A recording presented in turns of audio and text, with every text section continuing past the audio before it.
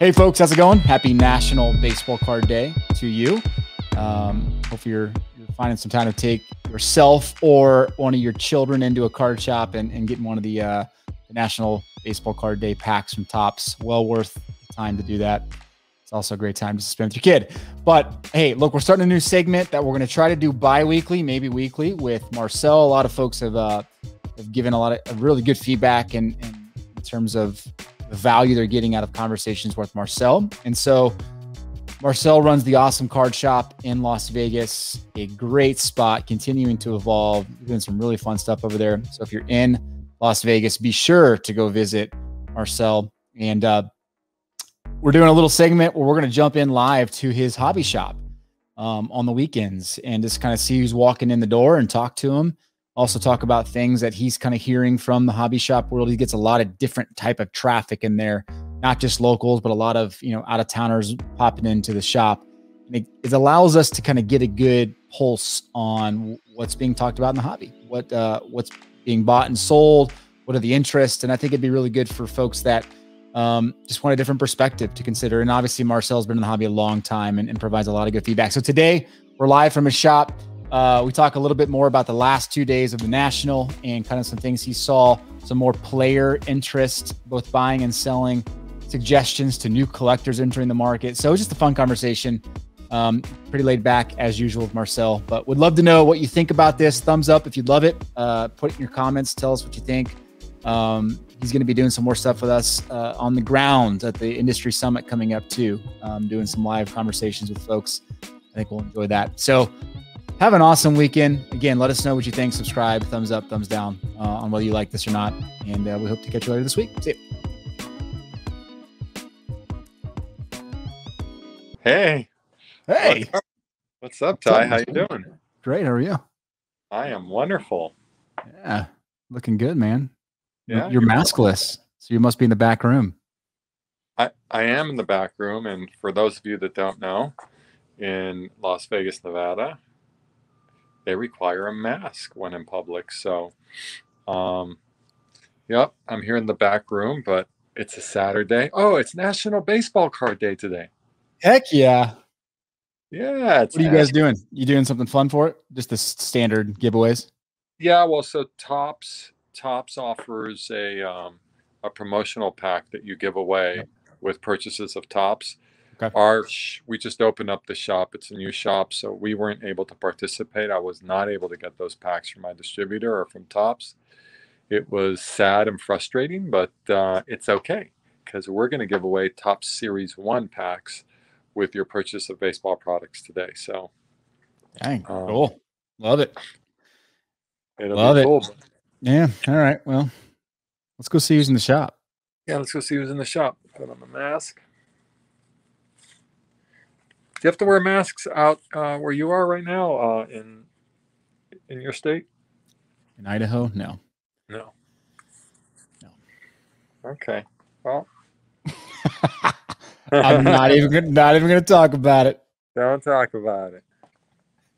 All right. So we're walking out here right now, and we've got an old old customer that uh, used to shop with me back on Durango uh, like 12, 13 years ago, 14 years ago. Sounds about right. Yeah. And he's, he's here with his son. Say hi. What's up, guys? Hey, how you doing? Looks like something my five or six year old would do.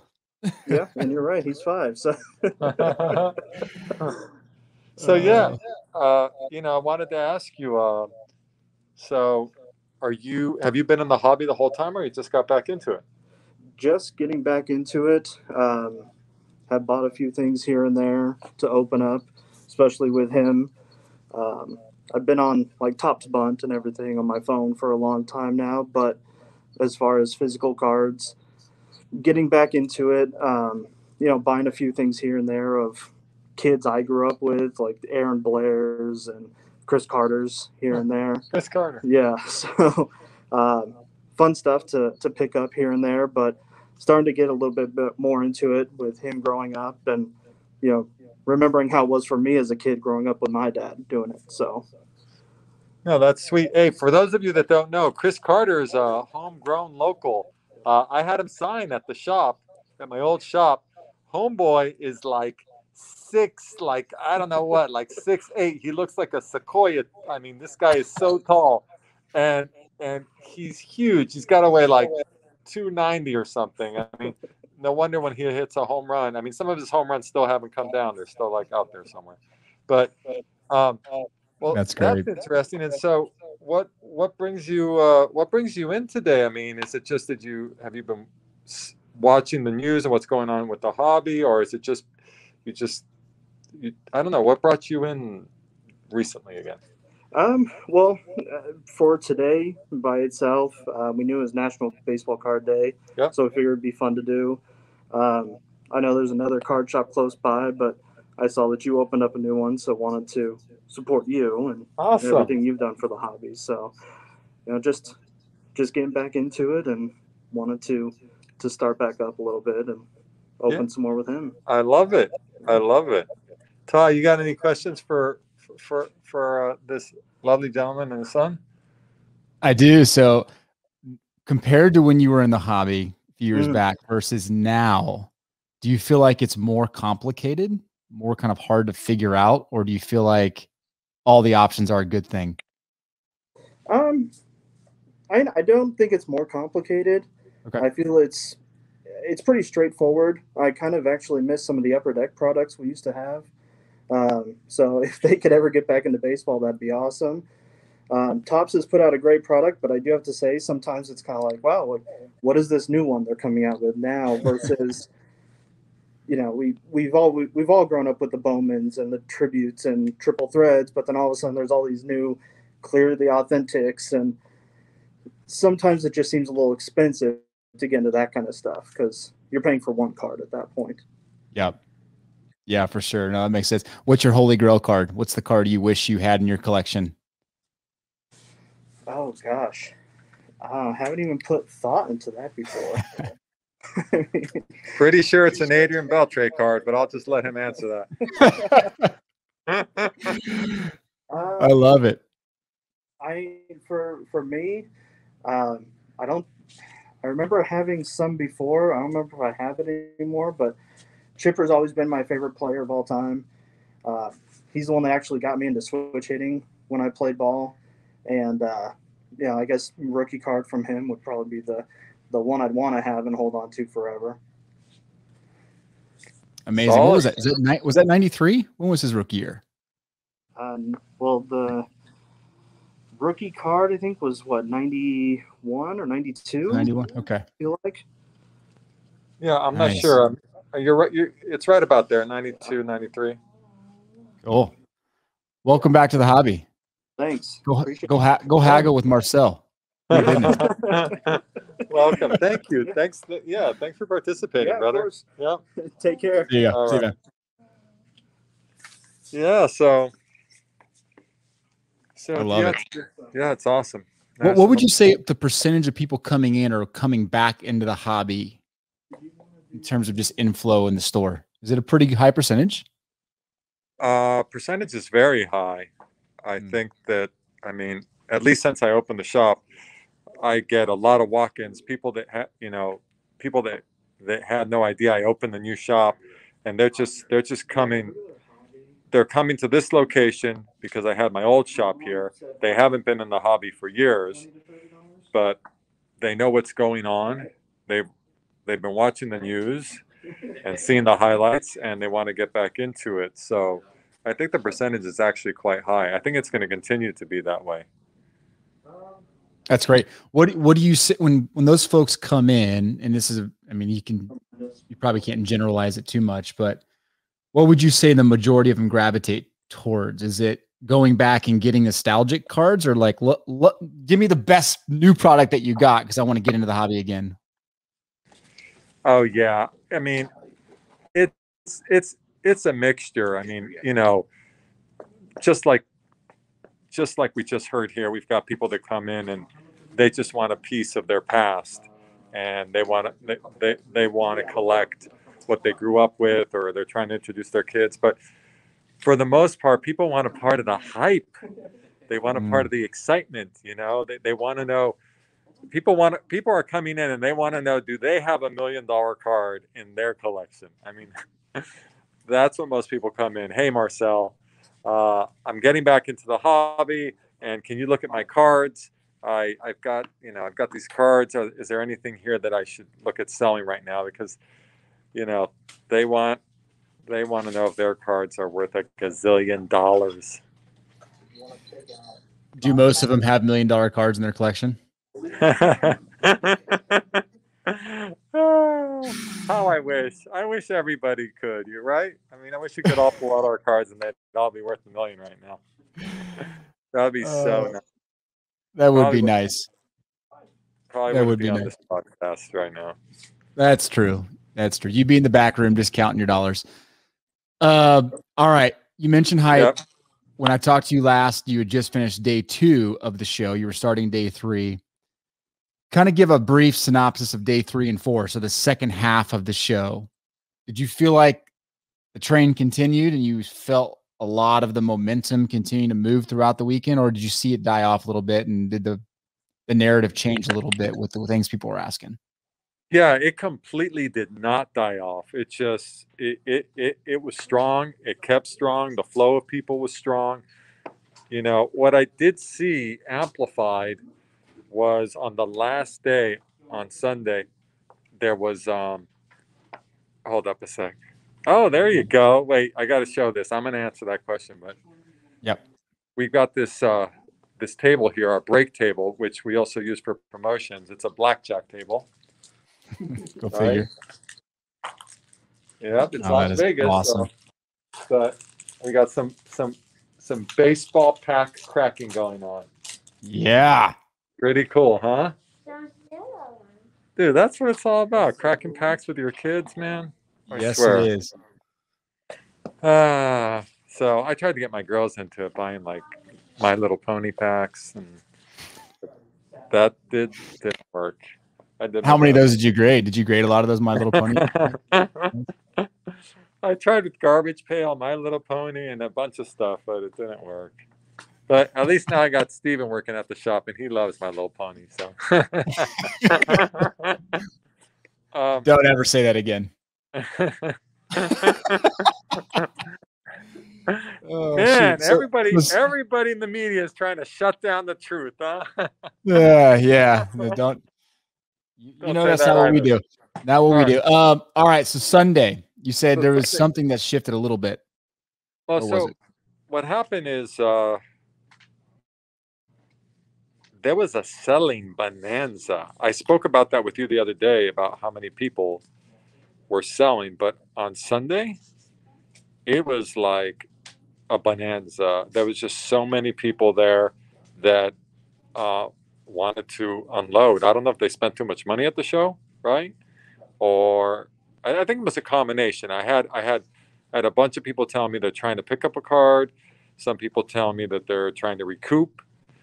But gosh, so many people selling on that Sunday. It was it was strong. It completely outweighed the people buying. So Sunday was really like sell, sell, sell, sell day. Is that not normal for a Sunday then? Is that yeah? I mean, sorry. No, I was going to say that seems like it would be somewhat normal on a Sunday, but I, I have never been a dealer at a show, so I don't I don't know. No, you're right, and and Sunday would be that day, but it was it was just amplified. It was mm. maybe it's just the sheer amount of people we had. Yeah, running through the show that weekend, but it just it just seemed amplified. We I, we couldn't sit down for one moment. It was just sell, sell. Hey, are you buying? Are you buying? Are you buying? And I think I, I don't know if I mentioned this, but everyone's got these little briefcases now. Yeah, yeah. Um, and they run around with these little briefcases and that, that have cards in them with like this gray foam. Um, that's that's the new trend. I mean, I I've seen them before, but at this national, everyone had one. Everyone had one of those cases. They pop those cases open on your display case, and they're like, "Hey, let's wheel and deal." So, I don't know if we got to talk about. Did we talk about the did we talk about the card shows that were happening inside the hotels? Yeah, we talked about that. Okay. Yeah, yeah. So, so, so let me ask you this then. So when when folks like that are when you see a selling bonanza, um, what is your mindset in that in that situation when you start you start to pick up pretty quickly? Okay, today's going to be a big time selling day. Do you become more aggressive then with your prices and your the offers you make people? Did you feel like in general there was a lot of buying happening? Because it's one thing to be trying to sell stuff, but was there a lot of buying happening from dealers? You know, I don't know about other tables, but um, most of the people there on Sunday at the end of the show, they were really trying to get top dollar. They were trying to get, they were trying to sell their cards for the most part at eBay minus fees.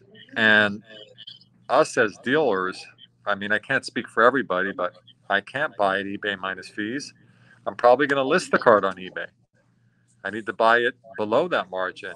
So even though we had a plethora of people selling, we didn't do a lot of buying. You know, when I when I would propose to people that I would be paying them, uh, you know, about twenty percent less than they would be netting on eBay. Um, that was like a no-go situation. Like they literally wanted me to, if the card was a hundred dollar card and they were going to net, you know, eighty-five dollars after all fees and shipping, they wanted eighty-five dollars, mm. and that just wasn't happening. But but there was a lot of people, nonetheless, trying to sell. So, mm. okay, what um what what were you trying to buy? And I know every dealer probably has their little nuances and things that they're going after, but what were you kind of keeping a keen eye out for in terms of like opportunities to buy? Anything in particular? Well, we spoke about this. I I I I put a a red alert on um, on Justin Herbert, Joe mm-hmm. Burrow, Trevor Lawrence, and Pokemon cards. Uh, and the reason the reason being those cards were the ones that were selling at a very high velocity at our table. Hmm. So it didn't matter how many of those cards I picked up at the show. The minute I put them in my display case, they would sell. They would sell. They would sell. Um, and interesting enough about the uh, the Pokemon market, the buyers for those cards were not so much interested in in getting the cards at a at a great price. They just wanted to make sure that they got the card they were looking for. So, hmm. uh, you know, they found the card, they wanted it, they liked it, they knew the price was fair, and they just bought it. You know, I think the I, I think the mindset of the Pokemon collector is is at this point, it's probably going to evolve into the same thing. It's probably a little bit different than the sports card collector. Yeah, yeah, and I don't I don't know enough about Pokemon to even ask the right follow up question to that, but I, I, would assume the reason they're looking for specific cards is to complete specific sets. Is that is that a fair statement, or their decks or whatever? Right, they need those cards uh, for their deck. Yeah, but our biggest seller was actually the graded one, so it's it's collectors that just like the way the cards look. I think. Okay. Yeah. Okay. Uh, but that's into you know we're very much getting into that market because you know that's part of this new this new era of collecting.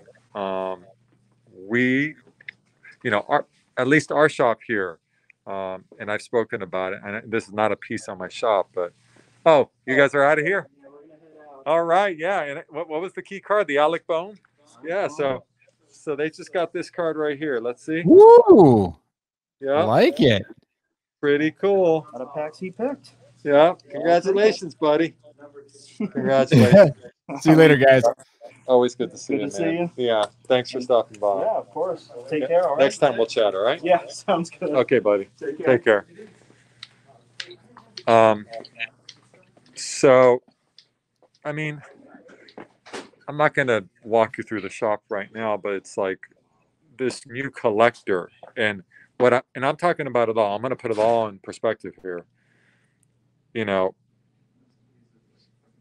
at my hotel until 2 a.m. There was a card show every night in the lobby. It got to the point where the hotel decided to give them their own conference room and gave them their own tables for free just to get them out of the lobby. So, um, but those those kids, and I'm calling them kids because they they were like 20 to 30 years old. They're part of a different generation, and Pokemon is a big part of that generation. And that's one of the reasons we're carrying Pokemon. But it's the whole thing. It's Pokemon. It's it's there's all sorts of aspects. of you know, cryptocurrencies. We're we're here on the verge of having a cryptocurrency uh, ATM machine, um, and if you were to look at my my shop, I mean, I'm selling Pokemon cards, but I'm selling presidential, you know, signed memorabilia, and I'm selling. I'm gonna. I'm selling graded Yu-Gi-Oh cards and graded Magic cards. I have comic books.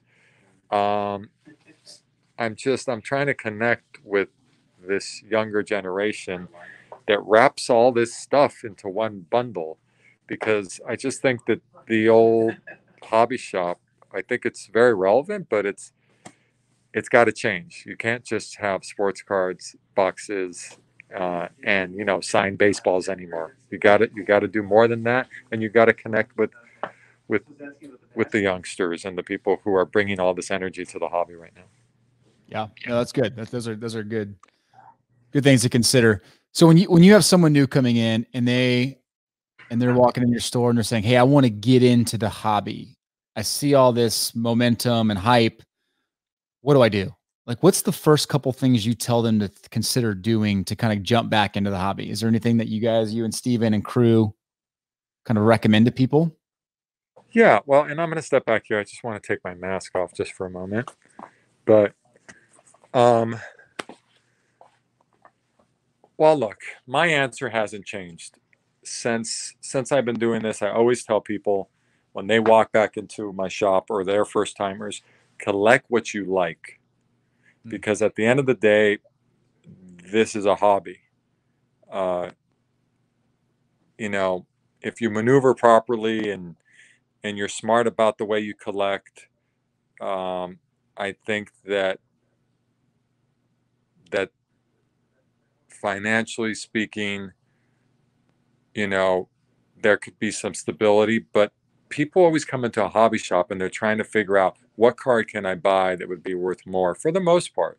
And I always tell them to st- stray away from that. You know, collect what you like. If you want advice from a hobby expert, that would be a hobby shop owner uh, or someone who works in the hobby. Go get that advice, and and there's a place for that always collect what you like because that's what makes the the, the, the hobby fun. I mean, you and I, uh, both of us are in the hobby in multiple facets and we do it in all sorts of different ways. But the most joy we get, I mean, come on, the most joy we get, I get out of Beltre and you get out of what? Border, right? Mm-hmm. Yeah. So, I mean, make you can make money and lose money in this hobby pretty darn easy. But if you collect what you like, you'll be pretty darn happy. I'll tell you that. Awesome.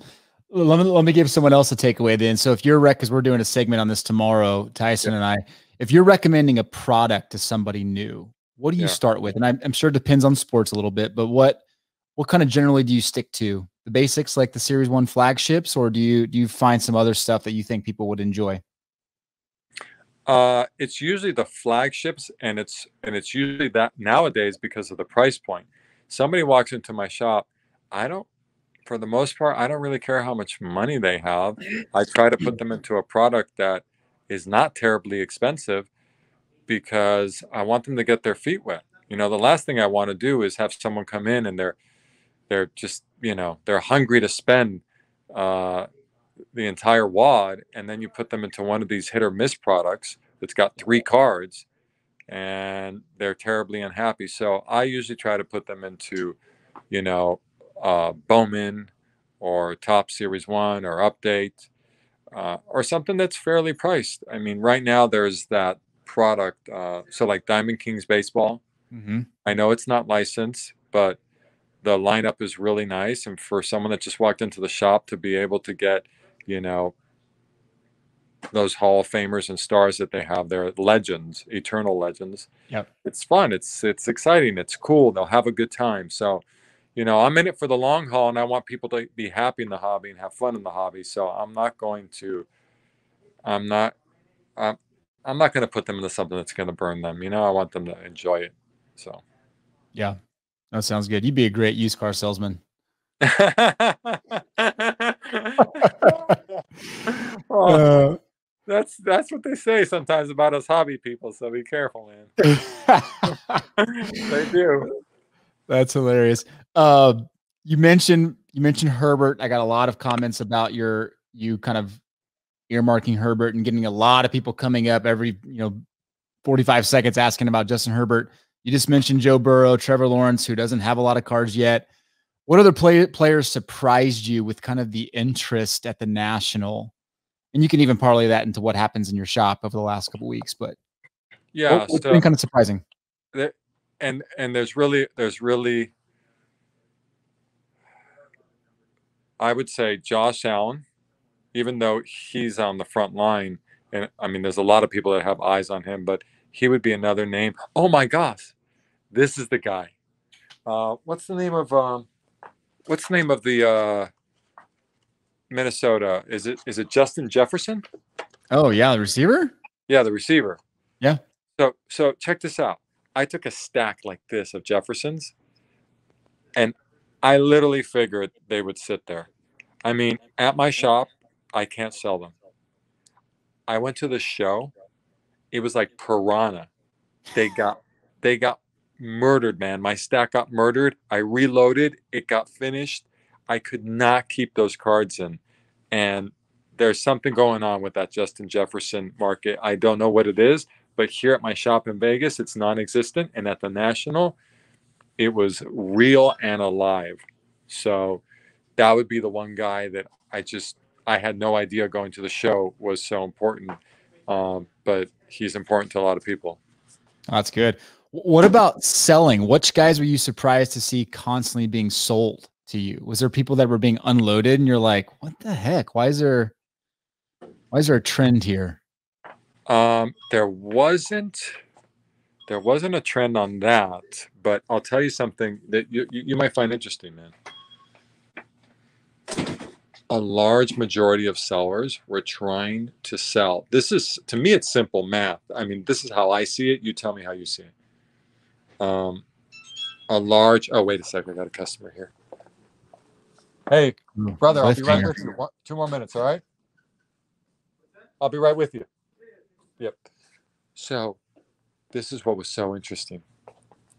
Everybody wants to. Everybody wanted to sell me a card that there's no sales for. Everybody walked up to the booth.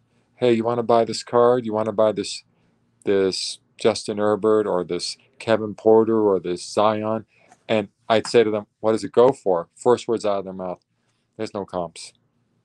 There's no comps. It's a pop one. It's a pop two. Um, you won't find a, a similar sale. So what's happened now is there's so many numbered cards that have been graded. So you got these cards numbered to 50, right? Mm-hmm. Even though in select there might be right five different colors of die cuts right that are all numbered yep. to 50 but the red one only one person has a card graded that's a psa 10 so in their mind it turns into a pop one and it kind of is but they kept wanting to sell me cards like that and um, at the shop i would I would bite into that. But at the show, with it moving so fast, I didn't want to buy cards that I couldn't comp out. You know, I um, I like to see my exit, and I want to see it clearly.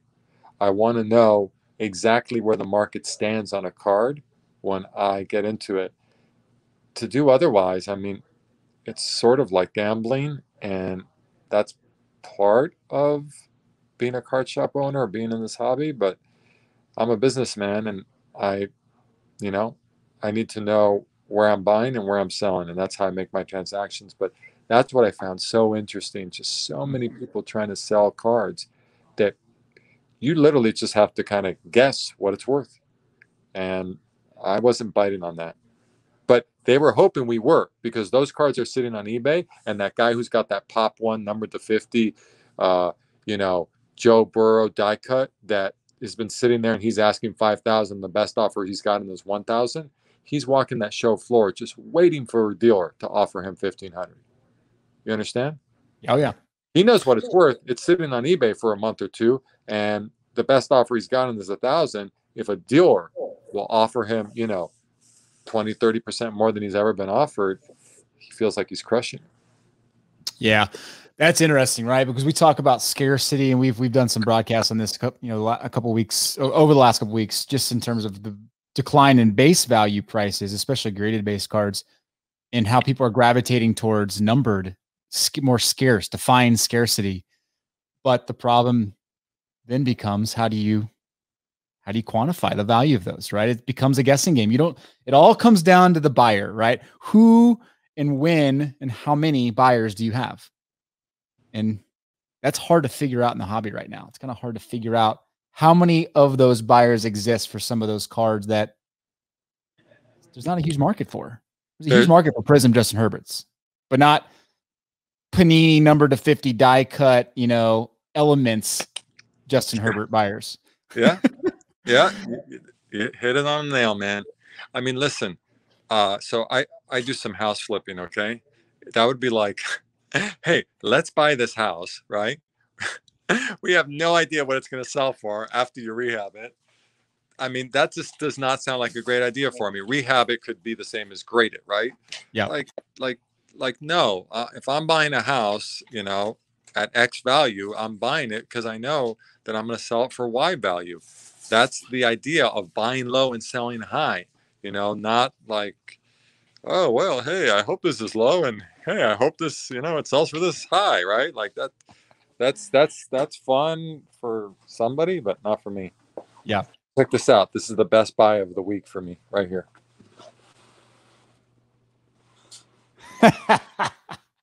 is that your, is that your candy of choice? Samantha Stevens uh, Stevens fiance fiance fiance and the the awesome new member of of the awesome shop bought that for me, dude. I'm so excited. That's awesome. Yeah. So hey, next week uh, if you want, you know, we can get uh, we can go down to one of the other card shops in a couple weeks. The Beckett show is going to be here, and uh, you know we can interview some some dealers and some of the industry heads live. So uh, that should Love be fun. September 10th through the 14th. Cool. That sounds fun. I think actually love that. What's that? You should actually come down for that. Yeah, is that over the weekend or is that during the week? I think the card show's over the weekend and the industry summits during the week. During the week. Yeah. Okay. We'll talk offline about that. All right. Marcel, as always, it's been a pleasure. Enjoy Thank the National, you, National Card Day. Topps Series One. Where do folks find you again? The awesome card shop. That's in Vegas, but you, do you have your online site done? Is it ready? Yep. So it's under construction. We're at 8125 West Sahara Avenue, uh, right outside Summerlin, and uh, centrally located about you know 15 20 minutes from the strip. Love to have you. Cool. I'll put your link to your Facebook page in the show notes because I think that's probably the easiest way to connect with you guys right now. Yeah. All right. Hey, All hey, right, fellas. Thanks again. See you. Bye. Bye, Ty.